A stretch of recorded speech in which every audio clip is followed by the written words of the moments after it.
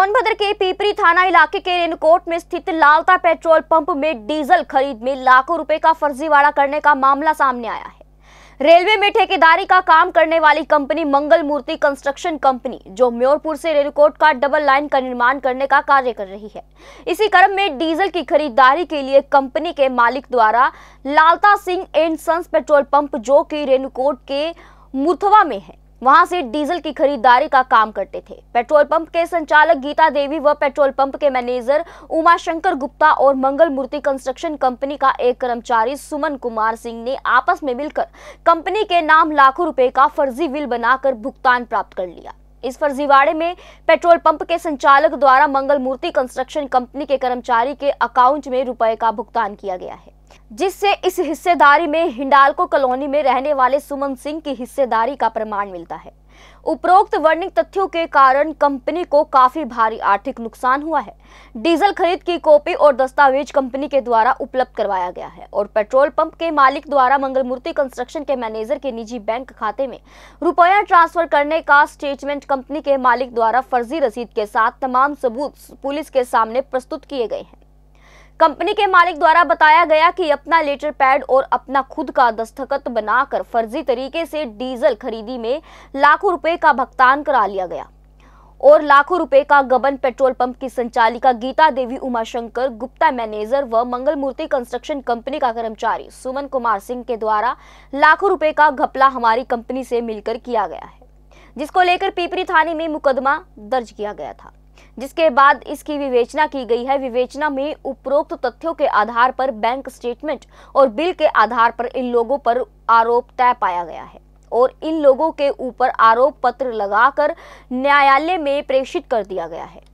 यहाँ पर कार्यवाही करने की बात पुलिस कर रही है। कंपनी के मालिक का कहना है कि हमारे कंपनी के कर्मचारी के साथ मिलकर इन लोगों ने लाखों रुपए का घोटाला किया है। जिससे हमारी कंपनी को लाखों रुपए का नुकसान हो गया है। हम यह चाहते हैं कि इन लोगों से पैसे की वसूली कर हमें वापस दिया जाए और इसके ऊपर कठोर कानूनी कार्यवाही की जाए, जिससे मुझे न्याय मिल सके। जैसा वीडियो में देख रहे हैं, आरोपी पैर पकड़कर अपनी गलतियों के लिए क्षमा मांग रहे हैं और कह रहे हैं कि तेरह लाख मेरे पास है, बाकी मालिक से आप समझ लीजिए। और आपके कर्मचारी के पास पैसा है उसे वसूल कर लीजिए। इससे लगता है कि पेट्रोल पंप पर इस तरह की घोटाले अक्सर होते रहते हैं और कोई ठोस कार्यवाही नहीं हो पाती। जब इस संबंध में पुलिस अधीक्षक से बात करनी चाहिए तो उन्होंने मामला हाई प्रोफ़ाइल कहकर बाइट देने से मना कर दिया। अब देखते हैं यह मामला मीडिया में आने के बाद क्या कार्रवाई होती है। यह देखने वाली बात होगी। आप लोग का मिली भगत? नहीं नहीं बात जो हकीकत है मैं वही बता हकीकत बात अशोक बाबू का क्या बारह तेरह लाख का मतलब ही हो गया।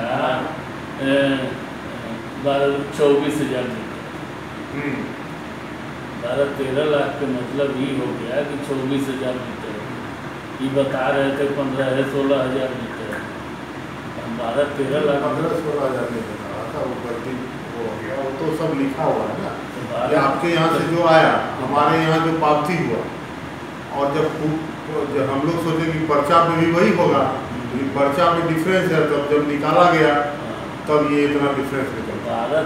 आप क्या करते थे ना पर्चा दे देते थे वो इस पे लिख देता होगा डीजल। गया छः सौ लीटर लिख दिया आठ सौ लीटर आप आठ सौ का हिसाब बना के हम लोग से पैसा ले लेते थे। ये गलती करते थे ना आप? हाँ तो- हिसाब तो आप ही ना बनाते थे। हाँ। और उसका पैसा आपके खाते में आता। पेट्रोल पंप खाते में। और पैसा निकाल के सुमन सिंह को आप देते थे। जी और ये हो ही नहीं सकता है कि सुमन सिंह अकेले कर रहा हो उसमें जब तक आपकी मिली भगत नहीं रहे। मेरी भगत में बता रहे हैं ना कि हज़ार पाँच सौ रुपये जैसे दो सौ लीटर कराया आप हज़ार पाँच सौ के आदमी हैं लेने वाले। आप तो मेन चीज़ देखिए अपनी औकात ही देख के हम चलते हैं। हमारी औकात क्या है हम जानते हैं शुरू से। हैं। अब भलाई इतना हमको देखते होंगे लेकिन मैं क्या हूँ यही हूँ हकीकत बात बता रहा हूँ। बारह तेरह लाख का मतलब हुए बारह चौबीस हज़ार लीटर डीजल हुआ। यही है। अच्छा जी बताइए कि क्राइम क्राइम होता है ना? आप कोई किया आप उसमें साथ दिए। हाँ, ठीक है? तो साथ दिए तो आप भी दोषी है ना? अब दोषी हैं कि आप जो सजा देंगे हमको हम क्या करें? गरीब आदमी हम भुगतेंगे जो गरीब आदमी तो- भैया हम देखिए सब में जी आदमी मेरा हैं। पाँव छूने से क्या होगा हम तो देखिए ईमानदार आदमी की तरह। आपको पैसा देते जाते थे पैसा देते जाते थे कि भाई हमको तो अशोक जी का चेहरा दिमाग में आता था। है पेट्रोल पंप गुप्ता जी क्या है? पेट्रोल पंप के मालिक अशोक जी। अंदर से सब नहीं होगा जो भी अगर लेन देन चलेगा भी तो एक एक पाई का सर्विस आ गया। लेकिन हाँ ये है कि चौबीस हज़ार लीटर मान के चलिए ही है। बारह तेरह लाख बारह तेरह लाख रुपया अभी कैसे आप दीजिएगा? देंगे उसी से न वसूलेंगे भैया किसी न किसी तरह से उसी से करवाएँ पैसा सब उसी को दिए। इसमें जो हो कुछ साल दोबारा हम ऐसा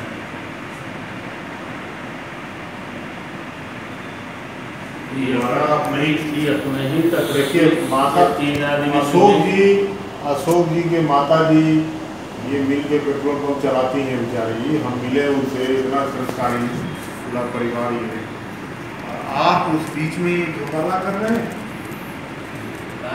गलती हुई भैया भैया कुछ नहीं हमको लालच हज़ार पाँच सौ अभी जानते हैं हम लोग का जितना काम है उसमें हम लोग तो आपको मेरे प्रति वफादार होना चाहिए ना कि मालिक कौन है? पैसा वहाँ से आ रहा है बीस बीस लाख पच्चीस पच्चीस लाख दस दस लाख बारह बारह लाख पंद्रह पंद्रह लाख है? जो भी है इसको किसी तरह से उद्धार कर दीजिए। पैर पड़ रहे हैं आपके कभी वैसा समझिए नहीं। होगा अब होगा तो आपके जूता हमारा सर। लेकिन किसी न किसी तरह से इसको बारह तेरह लाख के सुबंशी से हमको वसूलवा नहीं हम हम देंगे। नहीं तो वसूलेंगे हम उनको तगेरा फगेरा बान है। कोई करेंगे उसी से किसी न किसी तरह बुला करेंगे टवेरा से बारह लाख वसूलेंगे बारह लाख। तो टवेरा से किसी न किसी तरह से भैया देखिए इज़्ज़त प्रतिष्ठा सब भैया हम समझ लीजिए कि हम भुक्तभोगी हो रहे हैं। और एक तो हमारी जो सही आदमी हैं किसी तरह से उद्धार करिए हमारा। हम चौदह के हमारे दो तीन लाख है अभी दिवा देंगे हैं और अशोक सिंह से भी बात करवा देंगे हैं और धीरे धीरे पैसा करके उससे वसूलेंगे नहीं तो थोड़ा सा आपसे भी रिक्वेस्ट है कि उसको किसी तरह से पकड़वा दीजिए। ओके बुलवा दीजिए भैया। आप ऐसा कीजिए ना चौदह कर दीजिए। चौदह नहीं ना हो पा रहा है भैया। हो जाएगा जिससे आप लेते हैं उससे ले नहीं नहीं है बात की है उससे। हम पर्सनल में ही बोले उन मालिक के लिए नहीं बोले तो वो कहे कि नहीं कुछ नहीं कह रहे एक ही लाख दे कम से कम तो उसके पास नहीं एक लाख यहाँ है दो ढाई लाख रुपया तो वही बोला है हम कि तीन करोड़ के कैसे हो? नहीं उससे नहीं होगा। चौदह कम से कम देते तो उसको भी दे के शांत कर देंगे। और उसके बाद जो है जो है सो अपना जो काम है अभी सिस्टम सब चेंज करके चलता ना रहेगा काम। किसी तरह से उद्धार करें भैया। तीन करोड़ पैंतालीस लाख रुपया लिए हैं। किसी तरह से उद्धार करें। आ गया सब कुछ आ गया। है कि ये फर्जीवाड़ा करने का इन लोगों ने एक प्रैक्टिस सा बना लिया था। हमने तो इसका उद्भेदन किया। छोटे छोटे व्यापारी ट्रांसपोर्टर यहाँ तक कि किसान भाइयों को भी इन लोगों ने डीजल खरीद बिक्री में सबके साथ फर्जीवाड़ा किया। हम लोगों ने तो हम लोगों ने इसे रंगो हाथे पकड़ा। इसने पेट्रोल पंप से जो कंप्यूटराइज बिल निकलता है ना, उसमें भी इन लोगों ने छेड़छाड़ कर रखा था। आप अगर लेंगे 600 लीटर डीजल तो इनका बिल निकलेगा 800 800 लीटर डीजल का।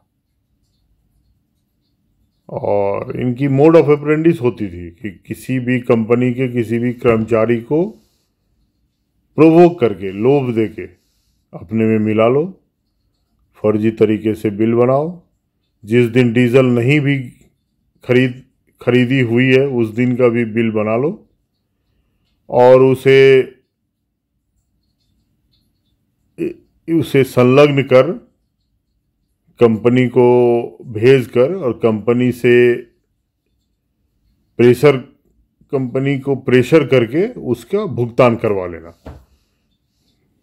कि भाई पेट्रोल पंप में पैसे देने हैं, डीजल खरीद के आनी है, इनका टैंकर लगा हुआ है, इन्हें ड्राफ्ट बनानी है। तो इस प्रकार से इन लोगों ने तीन करोड़ सैंतालीस लाख का भुगतान लिया।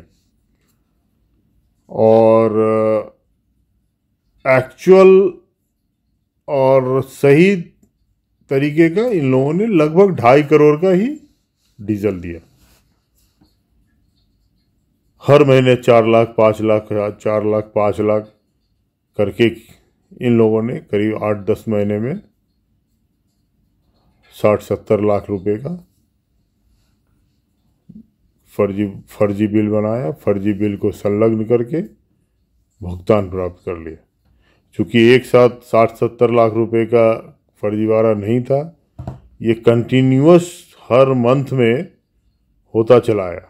इससे क्या हुआ ना कि पता नहीं चल पाया इस तरह से बारीकी से कि ये फर्जीवाड़ा हो रहा है। बट एक समय ऐसा आया कि ये लोग अपने ही जालों में फंस गए। हमने इसे बाबत पिपरी थाना में एफ़ दर्ज कर रखा है। एफ़ करने के बाद जाँच अधिकारी ने पूरी संलग्नता के के साथ इसकी जाँच की, पूरी तत्परता के साथ इसकी जाँच की। जाँच के दरमियान ये कांड बिल्कुल ही सत्य पाया गया और ना ही सिर्फ़ डीजल की, बल्कि डीजल खरीद के लिए जो पैसे आते थे इनके खाते में, उस पैसों का भी इन लोगों ने भारी दुरुपयोग किया। आपस में उस पैसे की बंदर बांट की और कम डीजल देके, अधिक से अधिक डीजल का बिल बनाकर भुगतान प्राप्त किया। मैंने पुलिस कप्तान साहब को भी बताया। वहाँ के जो लोकल डीलर्स लोग हैं, उन लोगों को भी बताया। सबने इनकी बहुत निंदा की है। हमारा ये कहना है कि इसको उचित दंड मिलना चाहिए और ताकि बाकी लोगों को भी ये सबक मिल सके कि फर्जीवाड़ा करना। मैं धन्यवाद देना चाहूँगा पिपरी थाने के सभी सक्षम पदाधिकारियों को, जिन्होंने इस कांड की बिल्कुल ही सही तरीके से जाँच की, उनके प्रभाव में ना आते हुए कांड की उद्वेदन किया, कांड का सही तर... JBD Banquets lie हैं incredible marriage palace Rajgharana and the finest banquet hall Jyoti Garden. World-class catering, centrally air-conditioned, lush green lawns, state-of-the-art lighting. A perfect venue for wedding, launching and parties. Rajgharana and Jyoti Garden at JBD Banquets Enterprise. ऐसे ही latest खबरें पाने के लिए bell icon को click कर हमारे channel को like share and subscribe करें धन्यवाद।